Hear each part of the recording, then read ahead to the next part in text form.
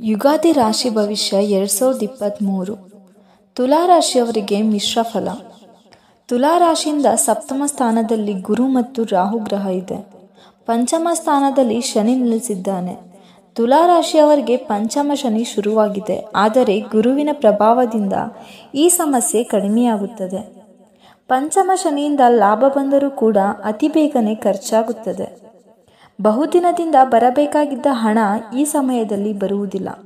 ಆದಾಯದಲ್ಲಿ ಸ್ವಲ್ಪ ಇಳಿಮುಖವಾಗಲಿದೆ. ಆತ್ಮೀಯರ ಜೊತೆ ಚಿಕ್ಕ ಮನಸ್ತಾಪವಾಗಬಹುದು. ಆರೋಗ್ಯ ಸಮಸ್ಯೆಯಾಗುತ್ತದೆ.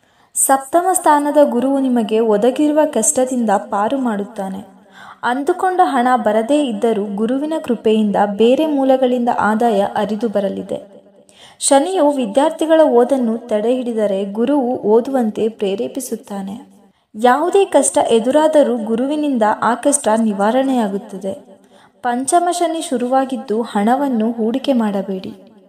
ಈ ಯುಗಾದಿ ನಿಮಗೆ ಮಿಶ್ರಫಲ ತಂದುಕೊಡುತ್ತದೆ ನವೆಂಬರ್ನಲ್ಲಿ ರಾಹು ಗ್ರಹವು ಷಷ್ಠಮ ಸ್ಥಾನಕ್ಕೆ ಬಂದಾಗ ನಿಮ್ಮೆಲ್ಲ ಸಮಸ್ಯೆಗಳು ಬಗೆಹರಿಯುತ್ತವೆ.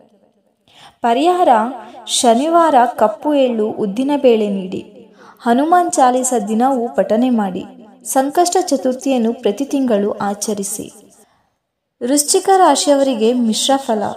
ವೃಶ್ಚಿಕ ರಾಶಿಯವರ ಷಷ್ಠಮ ಸ್ಥಾನದಲ್ಲಿ ಗುರು ಮತ್ತು ರಾಹುಗ್ರಹ ನೆಲೆಸಿದ್ದು ಚತುರ್ಥ ಸ್ಥಾನದಲ್ಲಿ ಶನಿ ನೆಲೆಸಿದ್ದಾನೆ.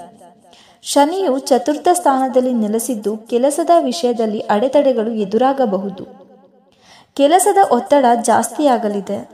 ಗುರುಗ್ರಹವು ಷಷ್ಠಮ ಸ್ಥಾನದಲ್ಲಿರುವುದರಿಂದ ಅತಿಯಾಗಿ ಸಾಲ ಮಾಡಬಹುದು. ಸಾಲ ಮಾಡುವುದರಿಂದ ಸಾಧ್ಯವಾದರೆ ಸ್ವಲ್ಪ ದೂರವಿರಿ.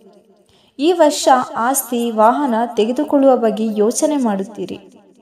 ಮನಸ್ಸಿನ ನೆಮ್ಮದಿ ಹಾಳಾಗುತ್ತದೆ. ಕೆಲಸದ ಜವಾಬ್ದಾರಿ ಹೆಚ್ಚಾಗಲಿದೆ. ಕೆಲಸವನ್ನು ಯಾವುದೇ ಕಾರಣಕ್ಕೂ ಬಿಡಬೇಡಿ.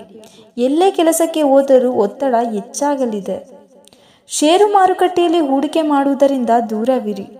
ಆರೋಗ್ಯ ಸಮಸ್ಯೆಗಳು ಹೆಚ್ಚಾಗಬಹುದು. ಸ್ವಲ್ಪ ಎಚ್ಚರ ವಹಿಸಿ ಪರಿಹಾರ ಶನಿ ದೋಷದಿಂದ ಪಾರಾಗಲು ಶನಿದೇವರಿಗೆ ಕಪ್ಪು ಎಳ್ಳು ಮತ್ತು ಎಳ್ಳೆಣ್ಣೆ ಅರ್ಪಿಸಬೇಕು.